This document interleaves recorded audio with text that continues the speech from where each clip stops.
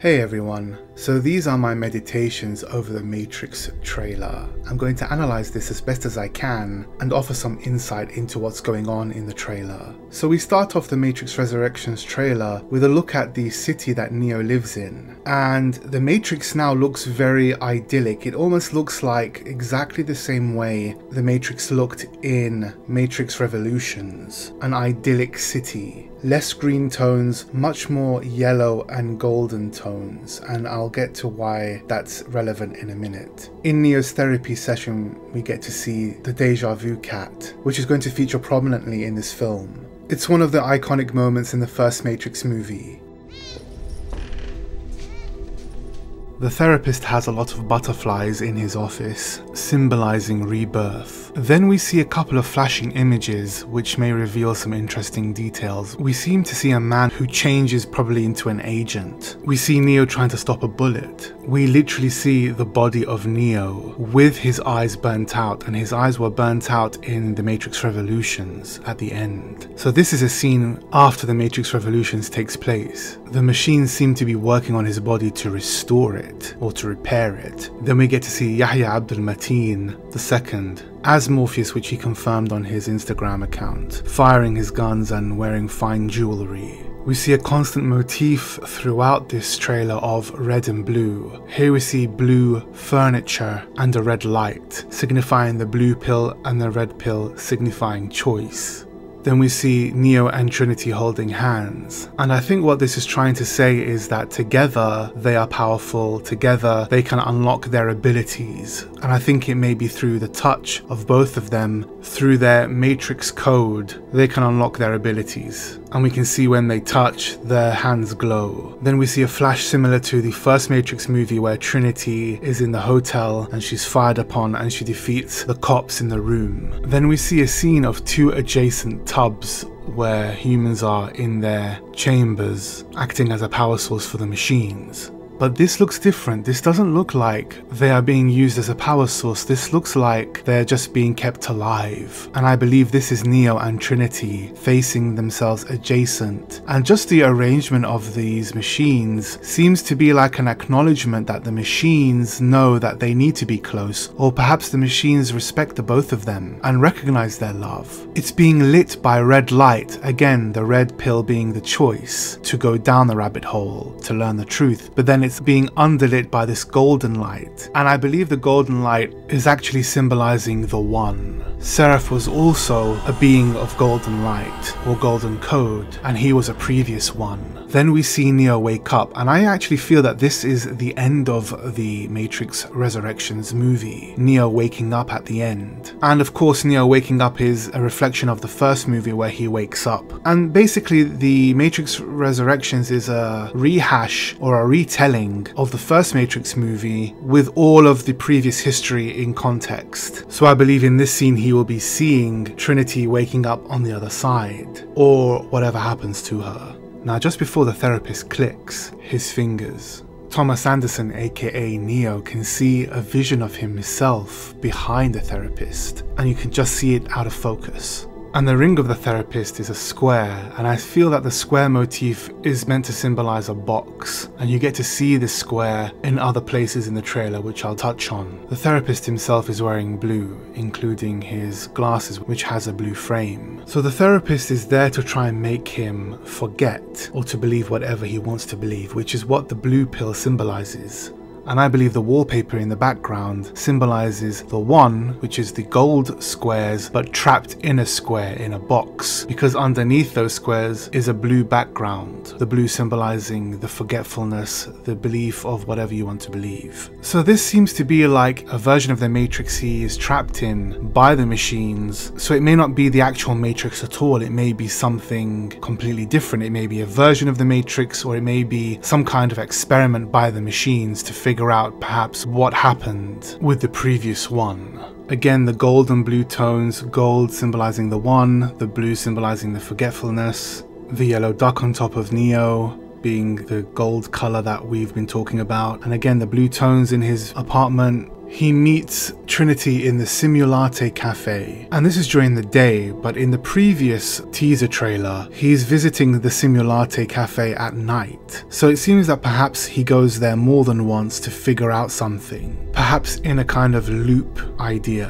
And the great thing is that Neo and Trinity don't know each other here, so it's kind of like they're refinding themselves and their love. Neo is wearing blue in his apartment, the blue tint and the blue tones of the shot makes it all symbolically forgetfulness, and he's even taking blue pills, lots of them. The question is, is he doing this on purpose or is he doing this because he's been told to do it? I get the feeling that he actually wants to forget that he lost Trinity in some way, but I could be wrong. This seems to be the Eye of Neo in the loading program, or the construct. In this scene, Neo looks up at the sky and sees a flock of birds, again surrounded by this golden light. But this is reminiscent of the machines in Zion when they are flying around in unison like a flock of birds. And it's either something that is a memory he has, which he would know that that is how the Sentinels operate, because it may feel familiar to him. At least that's how he seems to feel. And then we get a scene where Thomas Anderson is in a lift, surrounded by that blue light and that gold motif and everyone is glued to their phones and their social media accounts, kind of like oblivious, in a trance, not interacting with each other. And it's meant to symbolize the effect of technology and machines on human beings. Neo looks up and sees a reflection of himself,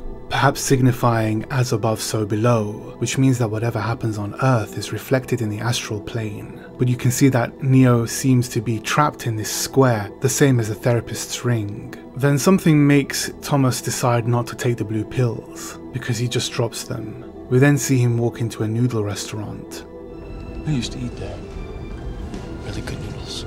Here he meets a woman reading Alice in Wonderland, and throughout this whole trailer we hear Jefferson Airplane and her track about Alice in Wonderland. And I think it's a very fitting track to use for the trailer symbolically, talking about the difference between this pill and that pill, and a callback to the first Matrix movie with Morpheus, talking about Neo feeling like Alice tumbling down a rabbit hole. I couldn't identify the edition that this Alice in Wonderland book is, so if you know which edition this is, let me know in the comment section below. But what I can tell you is this chapter is Chapter 2, The Garden of Live Flowers. And in the chapter it reads, the most curious part of the thing was that the trees and the other things around them never changed their places at all, however fast they went. They never seemed to pass anything. I wonder if all the things move along with us, thought poor puzzled Alice, and the Queen seemed to guess her thoughts, for she cried, Faster, don't try to talk. So perhaps in this scenario between this woman who seems to be the small girl from the Matrix Revolutions, Sati, who creates things within the Matrix, and perhaps is doing so currently. She is the queen in this scenario, and Neo is the Alice of the story. And interestingly, she is wearing spectacles with a red frame, red symbolizing finding out the truth and seeing how deep the rabbit hole goes. Then in this scene behind Thomas, we can see Neo from the first Matrix movie, scenes of his. So this is kind of like a similar scenario with the architect, where he sees previous versions of himself, or previous scenes, or previous moments in his life played back for him. And when Neo looks in the mirror, he can see what seems to be like the look of Agent Smith, because his code was mixed with his when he destroyed him. Not only that, but in the end of the Matrix Revolutions, he was allowed to take over Neo's body, and then Neo destroyed him from within. Then we see Morpheus wearing red, offering Neo the red pill. Again, red and blue light being portrayed here, red being the choice that Neo is taking, and the backdrop being blue, which is the forgetfulness. We get the obvious callback of the follow the white rabbit to find out the truth, and this is on the character Bugs, and I'm guessing that the name Bugs is supposed to reference a bug in a system, which means something that shouldn't be there, something almost rebellious in the system. Then we see the white light behind a door similar to how the white light grew in the Matrix Reloaded. This woman standing in the room seems to be like a younger Trinity. And in this scene, Neo is looking at Trinity and she's kind of frozen in a trance and he can see her matrix code. In this construct scene we can see that the dojo is surrounded by water and reflection which is what Neo is currently going through and Morpheus is wearing red again symbolizing the red pill. When the dojo is destroyed you can see this golden light which symbolizes the one. And even in the title cards, you can see the matrix code and this golden light reflecting from below. Then we get to see scenes of the real world where humans are still being used as energy sources and what seems to be a completely destroyed Zion and we can see a ship flying through it. Again more symbolism of the one with the golden light. In the background we can see a scene from the first Matrix movie when Neo is being consumed by the trace program when he touches the mirror. We can see Bugs wearing some interesting shades. The same shades that Morpheus is wearing in another scene. Are they all the same person or do they stem from the same person? It's unclear. But it's strange that they're wearing the same shades. Then we get to see Thomas Anderson aka Neo fighting someone who was in The Matrix Reloaded. I'm not sure if it's the same character but it seems to be the same actor, Tiger Hu Chen. He has a good working relationship with Keanu Reeves. He's worked with him in John Wick, Parabellum, and other projects. There's a mysterious bearded man with long hair in the background. I'm not sure who he is, but I think he'll be an interesting character within the Matrix. A sign behind Morpheus in the scenes reads Deus Machina, which means God Machine. It seems that Trinity is being taken out of the tub which confines her body. A super powerful Trinity here, and it seems that one of her iterations or forms is Bugs, so I believe that Bugs and Trinity are the same being, the same person, because you can see her in these echoes. Then we can see Morpheus here, a younger Morpheus, touching a mirror which seems to look like code with the condensation dripping down it. And this scene definitely looks like the first Matrix movie with the green tones, so this is a previous iteration of the Matrix. We see a regular occurrence of numbers similar to how it was in the first Matrix movie. We see the number 155, which is supposedly called an angel number. This actually reoccurs several times throughout the Matrix Resurrections. It appears in another scene. Let me know what you think this number means and symbolizes.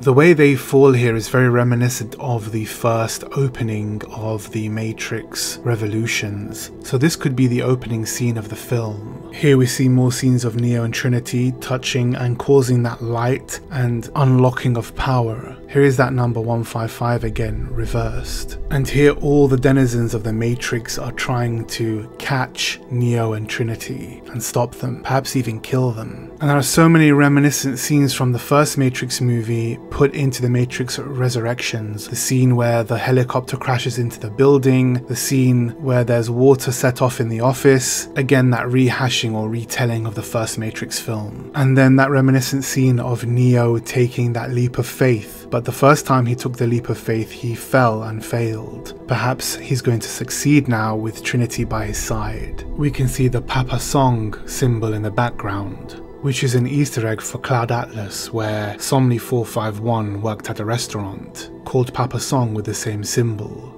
The number on the door that Morpheus kicks open is 773, which could also be another angel number, but it's also an Easter egg for Sense8. It's actually the character Sun Bak's prison number. So that's all I have for you guys. If you like this video, please don't forget to like, share and subscribe and click the bell so that you can be first to be notified of new videos. And until next time, see you soon.